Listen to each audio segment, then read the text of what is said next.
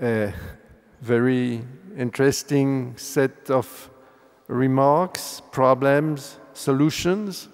So now I turn to our panel, and uh, if they allow, I will take the alphabetic order as well. Uh, each of you are suggested to react in not more than five minutes to what you have heard. Do you agree? Do you disagree? On which point? What additional comment would you like to make? Uh, or any other topic, but within five minutes. So I start with Inge Bernaerts, please. Good morning, everybody, and thank you very much to the organizers for having me here on this panel. It is, of course, a challenge for me after my president, uh, Barroso, has made yesterday evening a warm plea for the single market and how it can contribute to economic recovery. And after my Director General this morning has indicated how the single energy market contributes not only to economic recovery but also to sustainable energy use, to still give you an added value and new ideas in my five minute intervention. But let me still try to do so. I would like to pick up two concepts that have come up in a different context in the debate yesterday. And the first one is President Barroso's concept of implementation.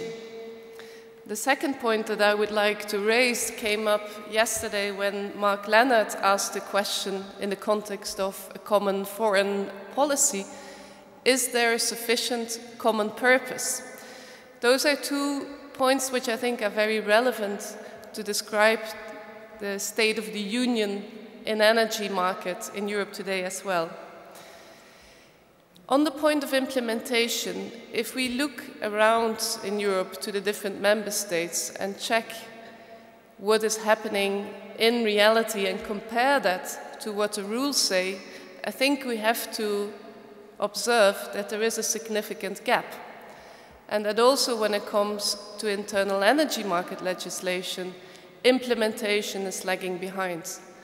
If I just look at the transposition of the third package, then I see that more than a year after the expiry date of transposition, almost half of member states have not fully transposed those directives yet. And if I look at the third the second package legislation from 2006, I still see that on basic principles like transparency by the TSOs, the necessary publication of objective data, we still have plenty of outstanding disputes.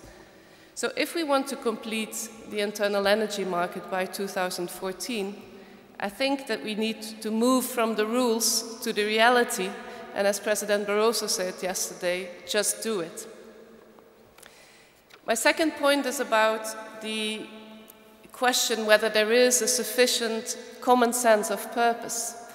And here I am a little bit more optimistic because if I look around the industry today, then I see that, for example, when it comes to our TSOs, our network operators, after the unbundling concept is taking form, you do see a common sense of purpose more and more amongst our TSOs.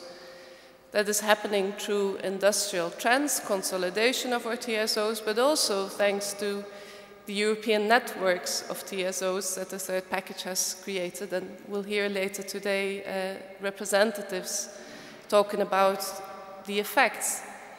Whereas before, our network operators were listening to the supply arms to see which investment decisions they would be taken, they now develop 10-year network development plans that look at Europe as a whole.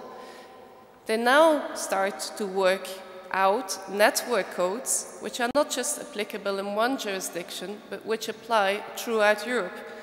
And I think those elements will really make a substantial difference between now and 2014.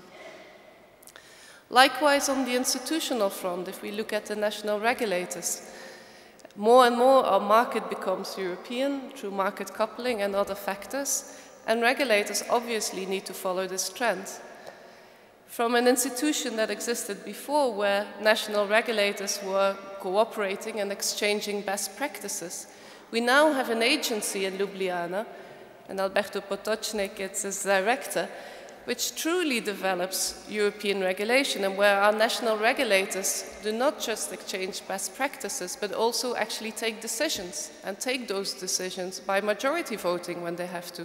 And also this makes a substantial difference to what we had under the first and the second package. Now, when it comes to the common sense of purpose, there are also reasons to be more worried.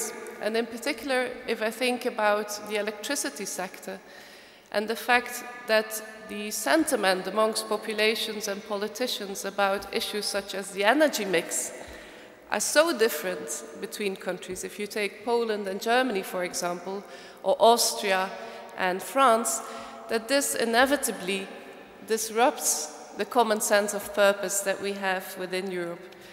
So what I see as the main challenge in completing the internal market by 2013 is to deal with this question. How can we make sure that where our member states have to intervene in markets in order to achieve the objectives that their population wants in terms of energy mix, that they do so still in a coordinated way, taking into account the impact of their actions in neighboring states and trying to intervene only where it's really necessary, so that their intervention is meant to make markets work and not to replace the positive effect of markets on a lasting basis. I see my time is up, so I'll stop there. Thank you. Thank you very much.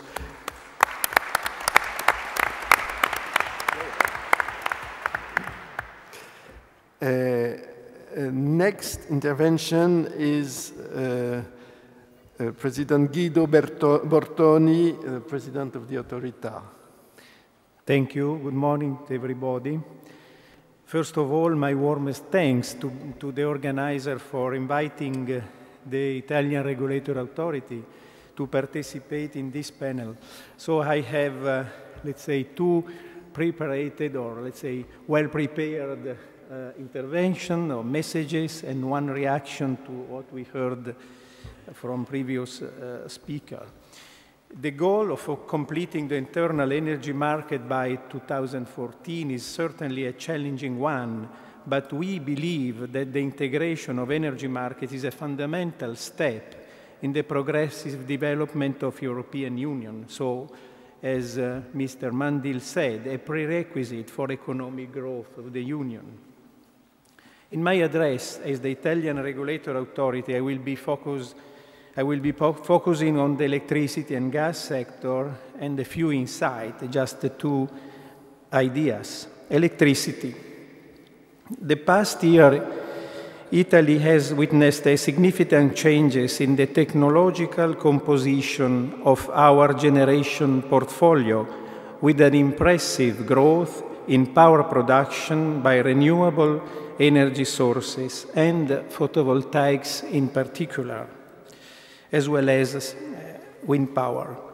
These are profound changes involving the integration of non-programmable renewable sources and the effects of these changes emerged gradually in Italy at first before growing to become very deep for the market, especially since the fourth quarter of 2011, last year.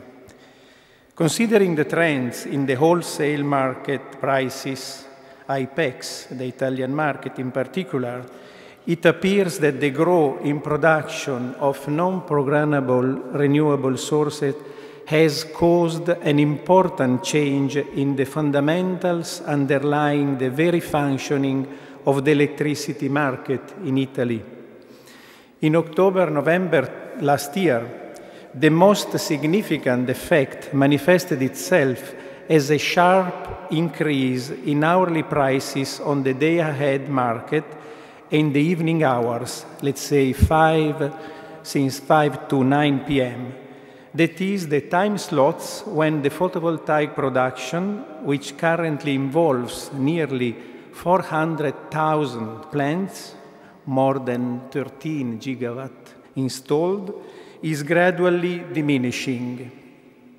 The prices for the evening hours in IPEX during the fourth quarter of uh, last year had a 30% increase relative to the same period of the previous year. These elements, which might seem like details specific to the Italian situation, are being brought to your attention because the current market design, both nationally and on European scale, was originally conceived with a more traditional generation portfolio. This design, however, will need to be reconceived in consideration of the large scale deployment of non-programmable renewable sources.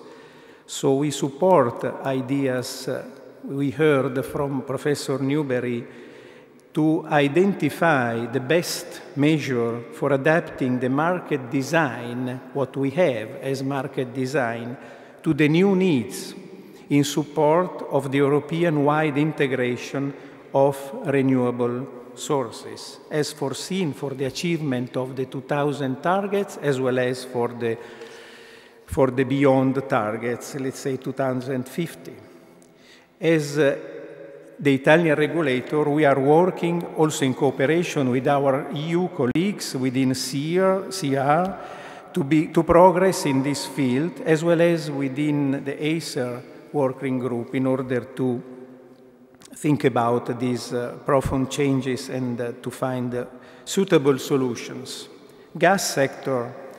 As for the gas sector, I just have uh, one uh, uh, message to you is to introduce appropriate levels of competition and efficiency to the market in compliance, of course, with security of supply criteria.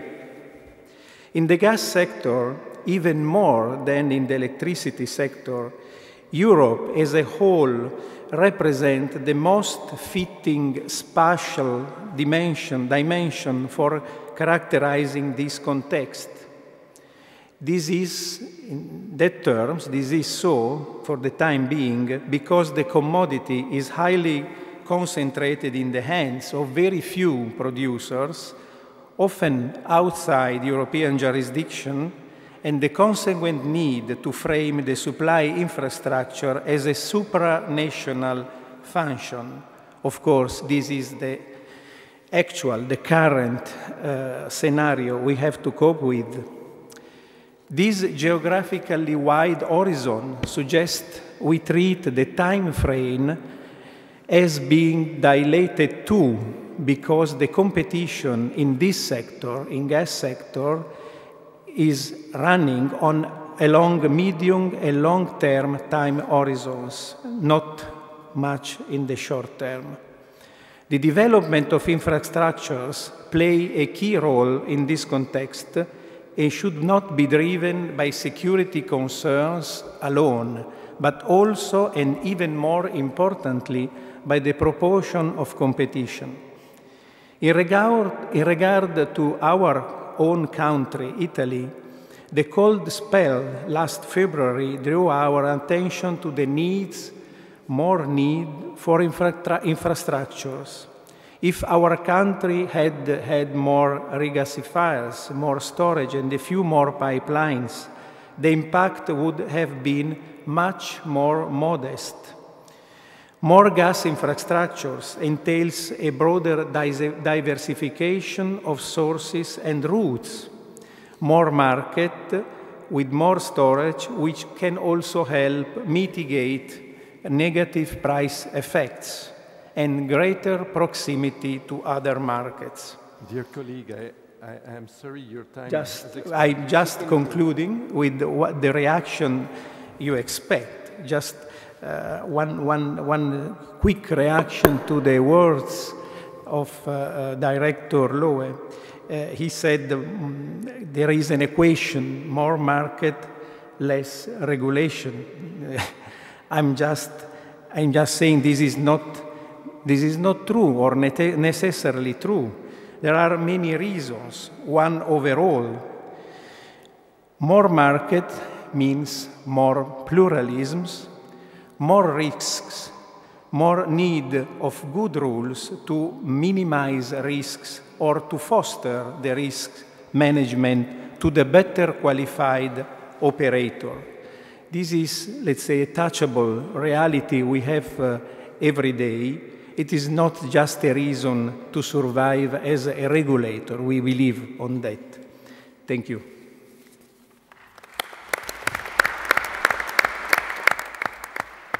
Thank you very much, Mr. Bortoni, and I apologize for interruption. Uh, now, uh, next speaker is uh, Daniel Dobbeni uh, ENTSO-E. Thank you. Thank you, Mr. Five Chairman, minutes. and uh, welcome, of course, in this beautiful location. Um, when when you, you pointed out, Mr. Chairman, uh, we should we should think about is it really useful what we're doing in terms of uh, the energy market. I just uh, had a sentence coming to my mind, maybe because we are in Florence. It's a well-known sentence. If you don't believe in education, just try ignorance. And I could paraphrase that, that if you don't believe in the electricity internal market and in strong interconnected power system for Europe, just try isolated system and you will immediately see that you don't have the reliability we have today, nor the security of supply. But um, I'm, I'm, optimistic uh, for uh, the next years um, with many different reasons.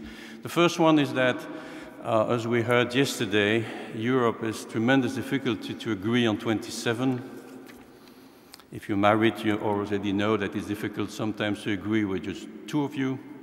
Um, but we agreed on the common market model. And, and we also agreed to implement it by 2014. The 27 head of states, uh, but also all market participants and all market actors. This is already a tremendous step forward. We also agreed that it would be based on market coupling. And uh, to make it happen, we even have a piece of legislation. We have network codes that will become binding. So finally, we have something that may achieve the same kind of rules in the 27 head of states, at least for electricity and gas. But this is not the end of the road. Uh, we still need to, to harmonize or to make compatible. Um, the common market model will be only as good as we have compatible uh, renewable schemes uh, supports for uh, uh what we call today capacity uh, generation, reserve generation. I know that talking about harmonizing those subsidy mechanisms is, is uh, very dangerous even today, but we have to face the fact that a common market model works only as good as it is implemented in the different member states including all subsidy mechanisms. And there, I'm starting to be concerned about um, all the mechanisms that member states are, or some member states are thinking about to promote classical uh, generation, because once again, by matter of subsidiarity, each and every country that is contemplating capacity markets is going to implement it in a different way. And this is not in line with a common market model. Now, you know that for software, because market rules is the software of our internal market, for software to work correctly, you need a good hardware. And hardware is generation and transmission.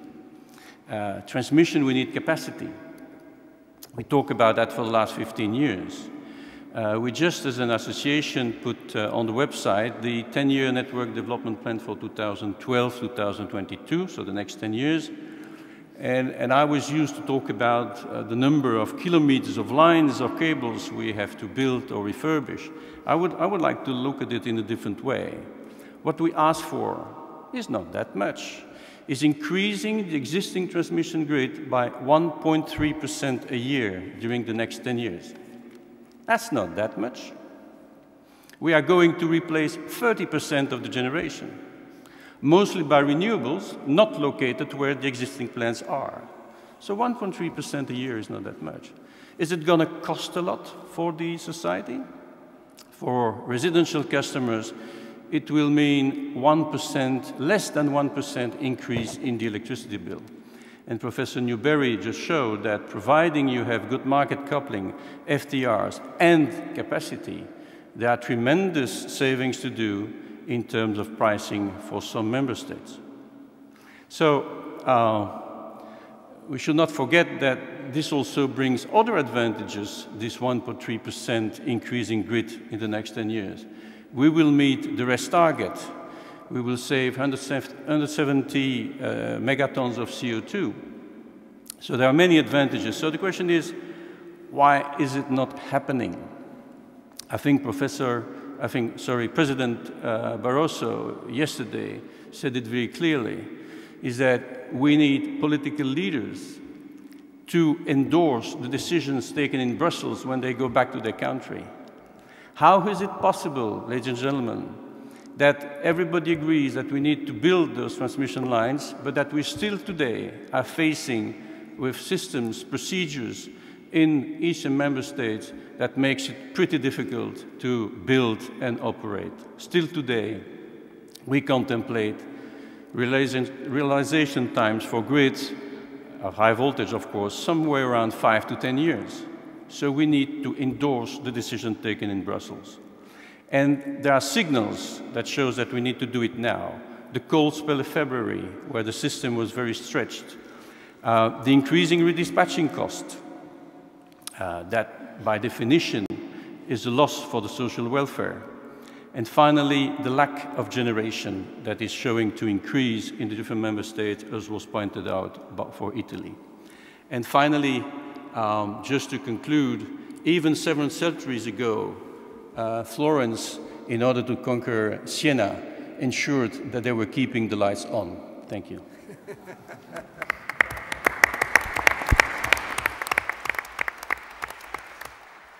Thank you very much, Mr. Dobbeni.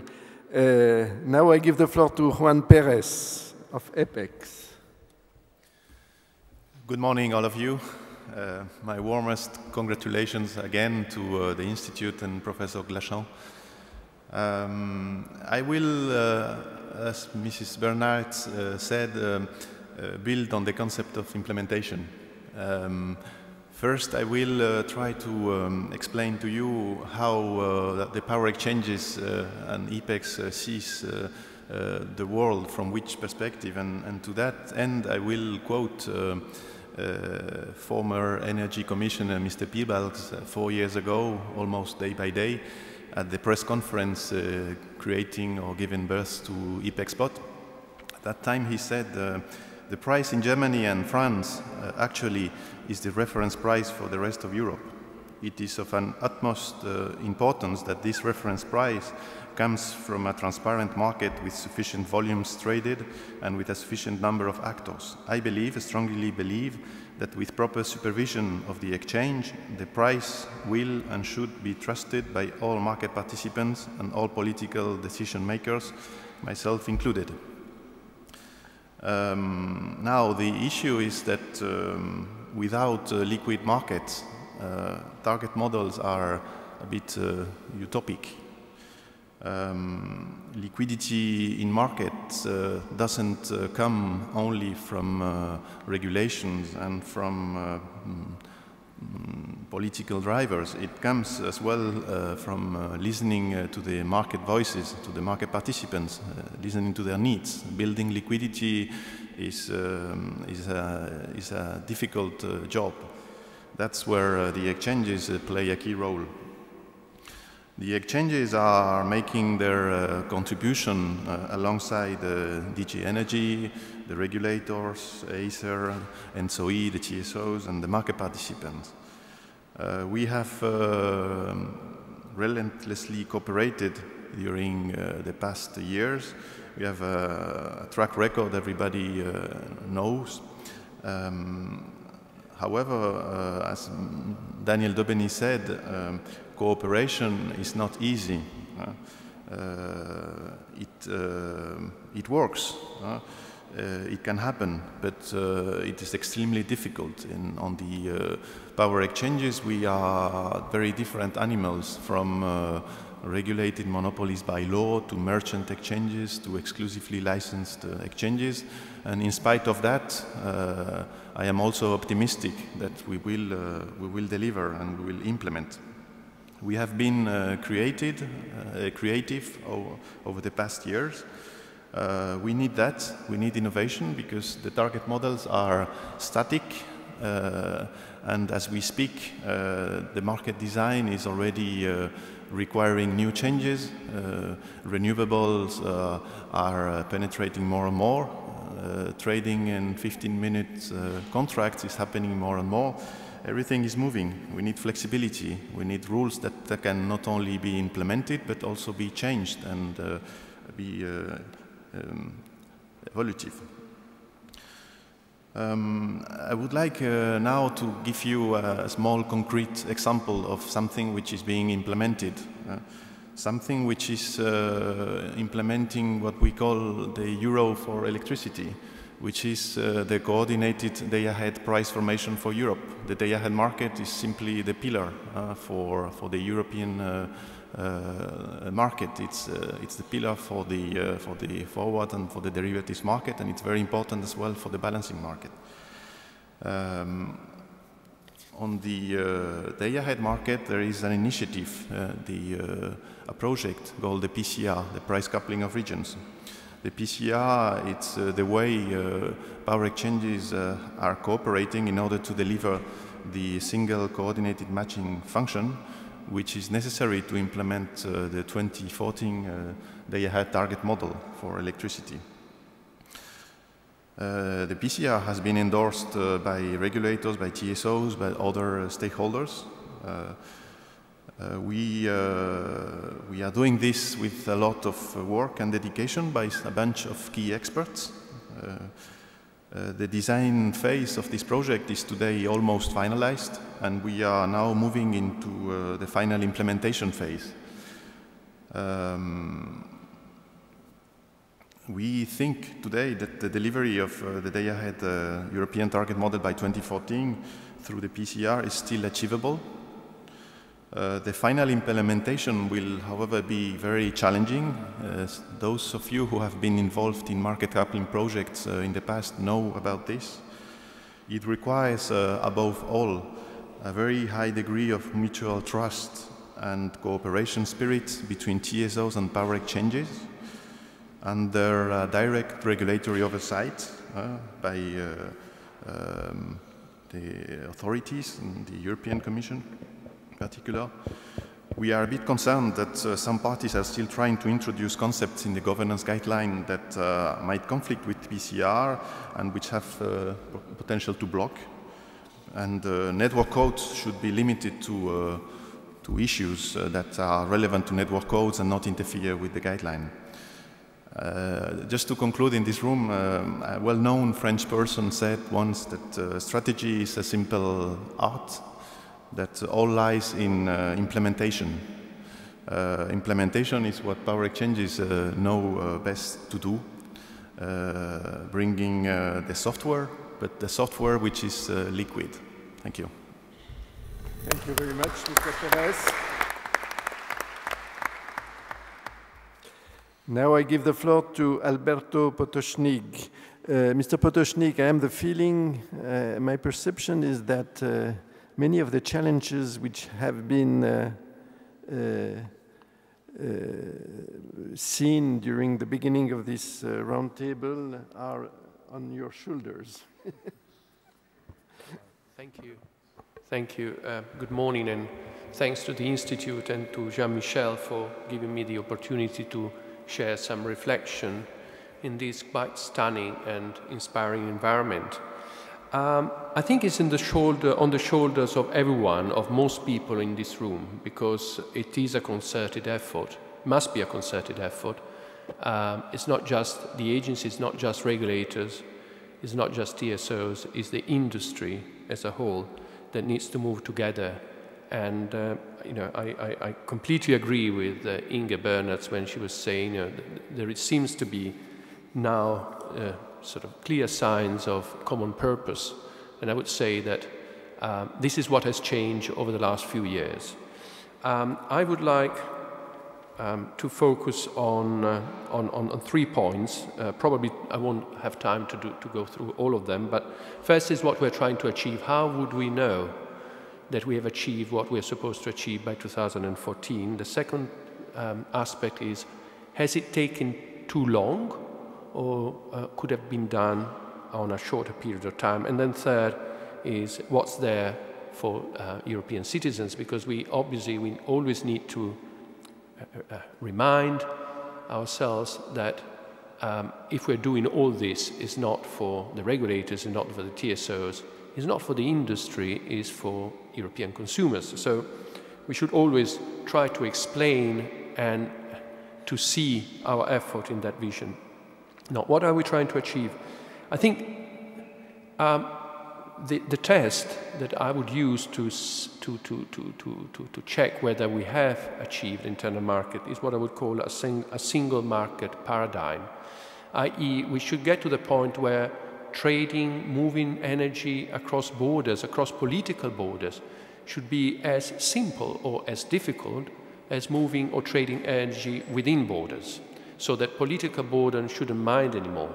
And what we need here obviously two um, two uh, ingredients, uh, we need rules, common rules, uh, single rules, and we need infrastructure. And I think um, um, those panelists and speakers that have um, spoke ahead of me have already said that we are going down the route. Uh, on infrastructure, there is now the infrastructure package proposal with um, an attempt of streamlining the um, administrative procedure for developing infrastructure. Now, we don't only need rules and infrastructure, we also need to implement the rules. And this is basically the, the bet that we are taking collectively at the moment.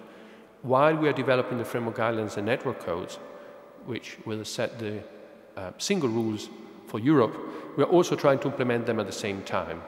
It is a challenge um, because uh, there is a risk obviously that the rules once implemented, once adopted, would be slightly different from what we are looking at now.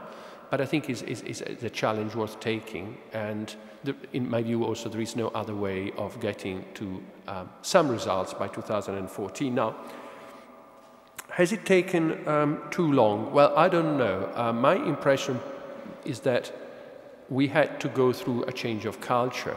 Also, the framework, the background, or the environment has become more and more complex. When the whole process started 20 years ago, there was almost a single objective, which was you know, integrating the market, efficiency, competition. I mean, you can, you can see it from different um, uh, angles.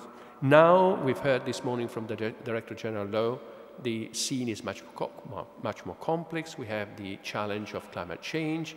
We have security supply issues. So we're trying to develop an internal market on a much more complex, uh, in a much more complex framework. And I mean, if I had more time, I can give you a, big, a, a few anecdotes why it, you also need a change in culture. I'll just give you a couple of, of, of, of examples.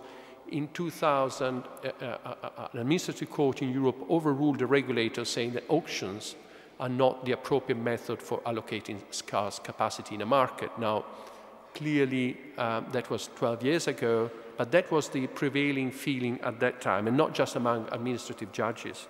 And, uh, you know, market coupling as a concept was only born in the modern, uh, uh, modern meaning um, nine years ago, on the 17th of March 2003. That's what the first time this concept came up.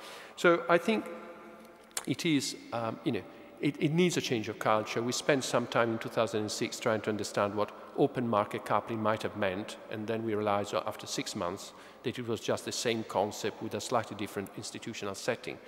So um, yes, we could have um, done it more quickly, but I think you know we shouldn't be sort of wondering whether that was the case or not. Uh, we just need now to put all our effort to try to achieve the goal. And just to conclude, I see two main challenges now. One is for gas to, same, to follow the same path of electricity, i.e. to now to agree on a vision and then start implementing it. And I see recent, I've seen recently good signs from the TSOs on this. And for electricity to complete the implementation of what we have, of the common vision that, has, that was developed uh, recently over the last sort of four or five years, but then also try to understand what the new challenges might mean for that vision. Because I think that the model, that the target model or the vision that we have now needs to be still worked on to incorporate the challenges of a more complex um, energy uh, framework. Thank you very much. Thank you very much.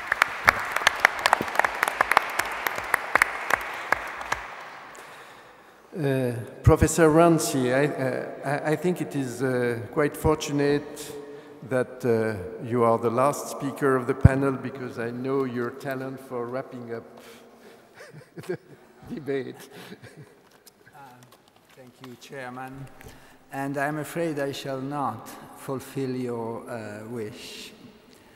it's very difficult to wrap up this discussion, and I think it has been a discussion clear enough um, now, I wish to take advantage of this absolutely exceptional conference to raise an issue that is not central to the European energy market, but which is central, in my view, to the responsibilities of Europe and of the European energy industry, and that is the energy divide in the world.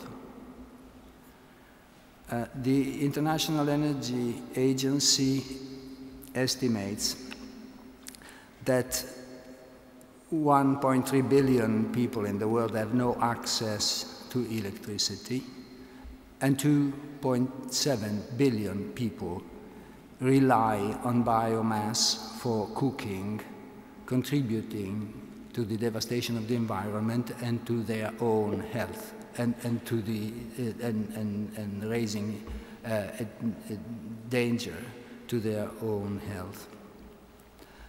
Uh, this is not going to disappear.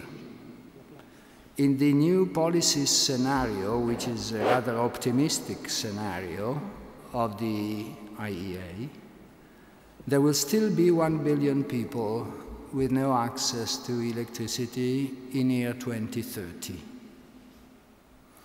Uh, although investment uh, for the purpose of reducing this divide is included in the scenario for an amount of $275 billion from today to year 2030. I, I believe that this is something that uh, has to be faced. Uh, I read about uh, a commitment that the European institutions are considering for Europe taking responsibility to provide access to modern forms of energy to half a billion people between now and year 2030. And I hope that this can materialize in specific projects. What I've read about is the institution of a technical assistance facility providing expertise. Uh, I believe that this is something that has to do with the social and political sustainability of our model. And Europe cannot rely, restrict to commiserate itself for the temporary setback in economic growth or for some difficulties in maintaining market shares of European products in the world markets. Uh, there is something uh, that has to be done, and of course this is a primary responsibility of the public institutions, but it would not be correct or effective to appropriate public money and then look for the way of spending it. Uh, shaping feasible projects comes first. And that requires the effort of those who have information, knowledge, and competence.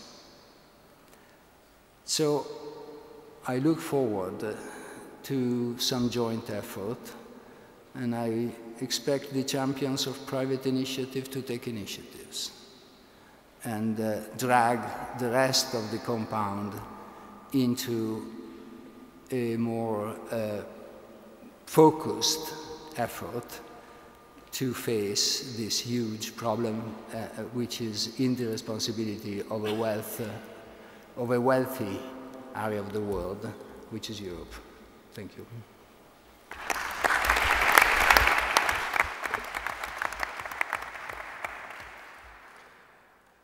Thank you very much, Professor Ranci, for uh, adding uh, a question which uh, perhaps was not in the main domain of our uh, roundtable, but which is so essential and so consistent with the spirit of our continent. So I suppose that we will speak again of that uh, during uh, other, other sessions. Now, uh, ladies and gentlemen, we have 10 minutes, let us say, uh, let us say, uh, for uh, reactions and questions from the audience. Please raise your hand. I have uh, somebody who wants to speak here. I presume there are some microphones. Uh, fourth, here.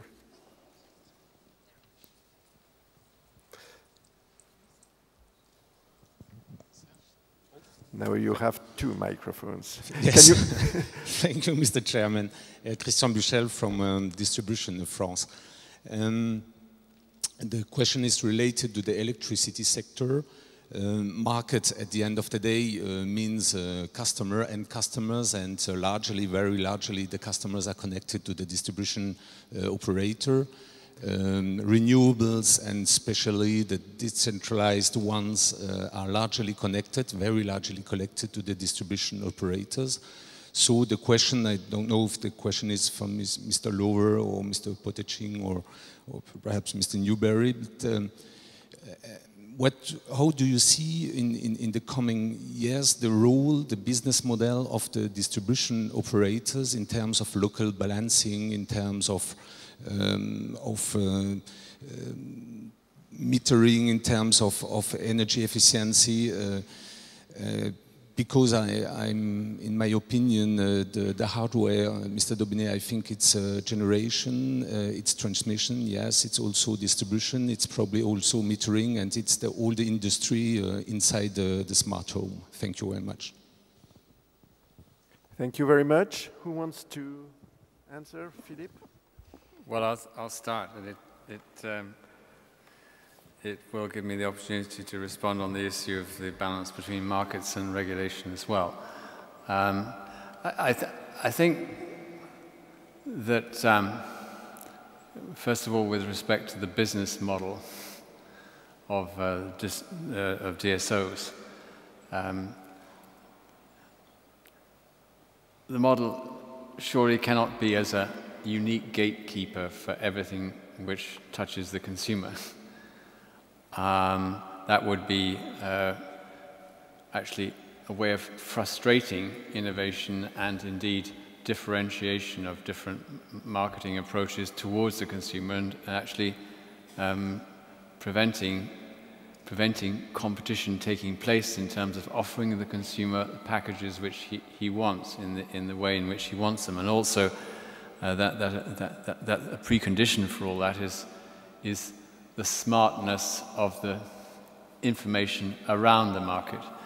Um, at the same time, I don't see personally why any DSO sh should not be able to cooperate as a uh, compete as a competitor for those services either. So um, a model which excludes the DSOs uh, from taking part in the market for energy services and supply of energy seems to be also the wrong way. And I think we need to look for a, a middle way. Um, and this comes back to the, the, the, which means everyone should be able to compete, including DSOs. Um, it comes back to the question which, um, which I think um, was mentioned by, by, by Guido Bortoni on how, how much regulation and when. Now, in the energy sector, we're bound to always have a significant amount of regulation in relation to natural monopolies, such as pipelines and, and networks. Um, but there are two areas where I believe that there is an inevitable transition in, a, in the process. Uh, one is if you're having to control the conduct of uh, incumbents, ultimately speaking, as you create the capacity for new entrants, um, then it should be possible to lighten that regulation and uh, allow competition authorities and uh, to, to, play the key role in policing what's going on without, um, uh, without um, that, that being the subject of price of, of regulation from either the Commission or indeed the national regulators. And of course, in France and elsewhere, uh, there are plenty of voices which say, uh, well, prices of energy haven't gone down, therefore your liberalization is a, is, is a failure. Uh, and we continually point out the reason why they haven't gone down is most of them are still regulated. So, and that comes back to Inge, Inge, Inge Bernaerts' point. Uh, you, you, can't talk about liberalization until you've actually liberalized. And um, uh, in, in, those, in, those, in those markets where consumer organizations complain to us, they say, well, what are you going to do about it? And, and that's what uh, invest, uh, uh, energy companies say to us too. Let us compete, and then we'll be able to offer services to consumers at the retail level, which makes sense. The other, the other area where, of course, regulation has to be regularly reviewed is where you're pursuing a public policy objective like climate change, which implies support to renewables, encouraging producer consumer um, uh, mod uh, business models. Um, uh, surely we have to uh, have a trajectory here which recognizes the gradual um, advantages which can be gained from rollout of renewable technology. And at a certain point, we have to say it's Schluss. And that there isn't a permanent expectation that every new technology should be the subject of favorable regulation and favorable, um, and, and, favorable um, uh, access or favorable price. Ultimately speaking, there must be some clock ticking to make sure that we return to a situation of normal uh, commercial activity and innovation without subsidy. That's not without subsidy to research and, research and development and innovation, but the rollout of products on the market and services on the market should surely not require on a permanent basis um, subsidy. Um, the makers of traditional vacuum cleaners didn't receive subsidy. Uh, the, the, ma the, maker of the new uh, dustless uh, uh vacuum cleaner didn't have a permanent feed-in tariff for his vacuum cleaner. Uh, that's what I'm getting at. Thank you. Uh, there is a question here, third row. And then I will take another one and, and we will have to, um, sorry for all the hands which are raising. Please. Thank you. Uh, Gunnar Lundberg, Chairman of Eurelectric's Markets Committee. It's, I'm a little bit astonished that we have eight representatives in the panel and all of them saying that we are on the right track, the market is on its way, we will meet uh, the Council's goal 2014. But is that really the truth? I think 600 years ago it was not risk-free to say in this room that uh, the Earth is a globe. You could be in deep trouble if you said that in this room 600 years ago. And, but I hope it's risk-free to say that we are not on the track in the market.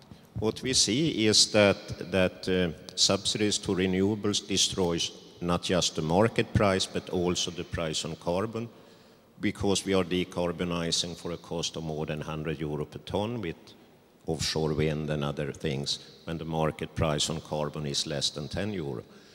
Uh, we are seeing that uh, market integration doesn't work because transmission system operator and power exchanges cannot cooperate. We have heard in the groups of uh, AESAG and AHAG earlier that next meeting we will see an agreement between them how they will do this. But it's not happening. And it will, we will probably not see anything in the Florence Forum two weeks from now. What is happening? Are we on the wrong institutional level? Do we need one European TSO, one European power exchange to make it happen? Because if these all institutions cannot cooperate, are we really making it possible? So, I mean, I would have expected a little bit more serious discussion in the panel about the real problems because it is not for sure that we are on the track. Thank you. Thank you very much. Well, uh, I am, I am very anxious because I suspect that uh, answering your question would need uh, a full session. And we, ha we are two minutes for, from the end. Uh, I don't know whether somebody uh, Mr. Pototschnig, well, try to summarize in one minute what well, we yeah, yeah, well, you're right, because otherwise we would stay here for the whole day.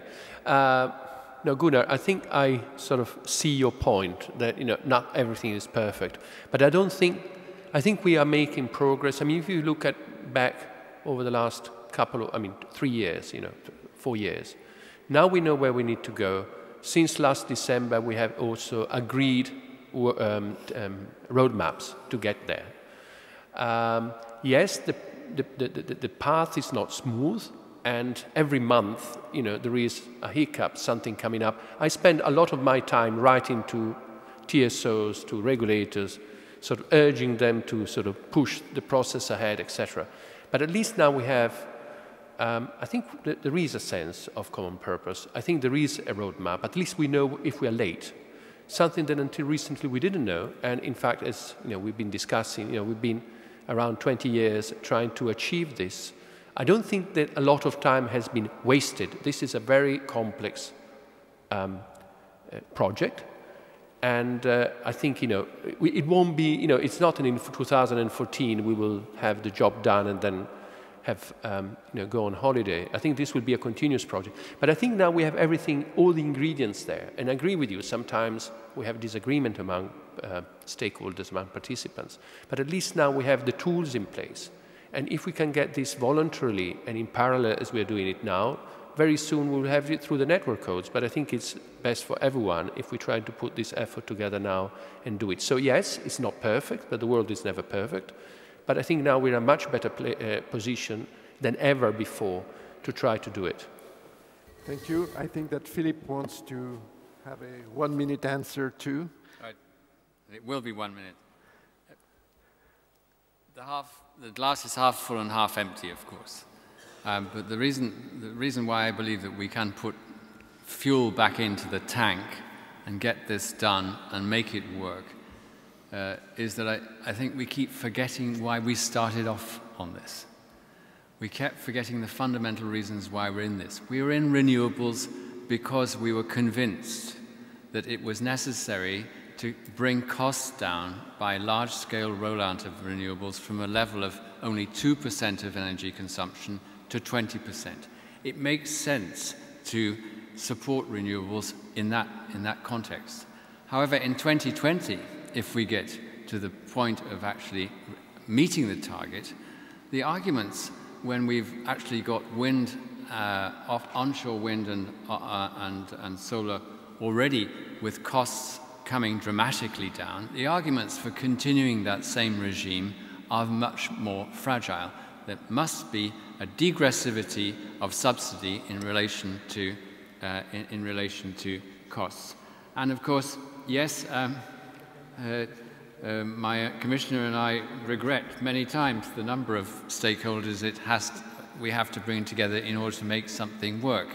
And um, uh, I think that market players realize that too, and that it would be um, eminently um, uh, desirable in some areas that there would be a concentration, a further concentration of economic activity in certain sectors. I'm not talking about DSOs and TSOs as a whole, one is not possible, but a certain degree of confidence in a business model which works across frontiers in several markets seems to be a good thing and it will drive the process and it will mean that the regulators don't have to drive the process as much as they do today. Thank you. Uh, Daniel Dobbeni. Just just uh, a few words. Your point, Gunnar, reminds me of, of uh, 2005, 2006, when uh, a certain number of partners tried to uh, put together the idea of market coupling between the Netherlands, Belgium, and France.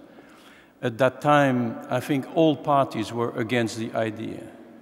And I heard so many people saying that it would fail, that this would not be the solution, that there were so many other solutions. So criticism is easy, but I would much prefer that all parties concerned try to find out how to help solving issues today in order to happen, to make it happen tomorrow. Thank you very much. I'm looking at, uh, at my watch and I think uh, we have to stop there. Let me uh, take the privilege of chairing this session to give myself the last minute. And I think that uh, this was an extraordinary interesting session. There is perhaps one word which is missing, or at least uh, we have not emphasized enough, which is flexibility, the need for flexibility. And I would like to explain that for two reasons. The first one is that we have not at all addressed uh, the issue of technical progress. We have discussed as if uh, the technical picture was as it is right, right now and would stay in the future. Uh, well, I'm not sure it is true. Uh, what will be the market design if there is a very strong decrease in the costs of some renewables? What will be the market design if uh, we make uh, breakthrough progress in uh, electricity storage? What will be the market design if we make a tremendous program in uh, transmission uh, with supraconductivity. It's not tomorrow, it's maybe the day after tomorrow. And that does not mean we don't have to do anything, but we have to keep flexibility possible. And the second reason, which I think was uh, well shown in our debate, e even if sometimes implicitly, is that if everybody agrees that we need an internal market as soon as possible uh, and, and uh, uh, that it means much more coordination uh, between operators, much more uh, connections uh, between countries, etc. I think that we have to realize that the conditions today are not exactly the same as the ones which prevailed uh, uh, when the market design was elaborated 20 years ago. At that time, the general perception was that there would be a convergence towards a common energy mix inside the EU. Today, we'll know, we know that it is the exact opposite, that there will not be any energy mix and perhaps increasingly less convergence uh, between the different energy mixes. Uh, at that time, uh, we thought energy efficiency would result of the market forces. Now we know that we need very strong public policies to implement uh, very demanding targets, demanding goals for uh, energy efficiency. Uh, at that time, uh, the intermittency of renewables was not a problem just because the share of renewables was so small. Now we know that it becomes a very strong problem and the market design is not so far fit to uh, addressing this very specific issue. And I could uh, go on. That means, in my view, that we have to hope and to work for much more uh, strength in achieving the internal market as soon as possible.